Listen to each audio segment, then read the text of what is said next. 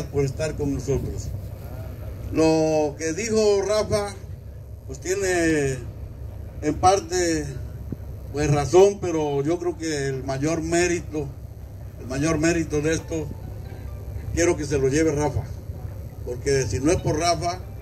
este circuito no hubiera sido posible haberse hecho y todo fue gracias a la labor de nuestro compañero Rafa y hay que darle mérito a quien honor merece. Es lo que quiero hacer patente en esta, en esta reunión. Creo que Rafa desde un principio había ciertos problemas por el circuito este que en parte ya se había cerrado. Pero gracias a la gestión y al acercamiento que tiene con sus productores, pues nos es posible estar ahorita aperturando este circuito, ya que parte de la urbanización de Cepoala, que bendito Dios está creciendo pues para bien, este, nos, nos empezó a acaparar todo lo que era el circuito anterior que teníamos. Ya no había partes donde tuviéramos chances de que los camiones, por su magnitud y por su carga, dieran la vuelta. Entonces nos vimos en la, pues ahora sí en la necesidad de hacer un nuevo circuito. Y lo queremos hacer y quiero que quede patentado,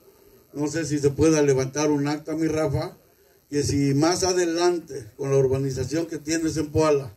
se pudieran urbanizar estas parcelas, que se hicieran con cables subterráneos para que no nos estuvieran afectando nuevamente la circulación de los carros cañeros, ya que con esfuerzo del comité estamos haciendo posible este circuito. Yo creo que si siguen poniendo los cables aéreos, vamos a tener a futuro más problemas. Quiero hacer eso y que quedara patentado que una vez que si esto llega a urbanizarse más adelante,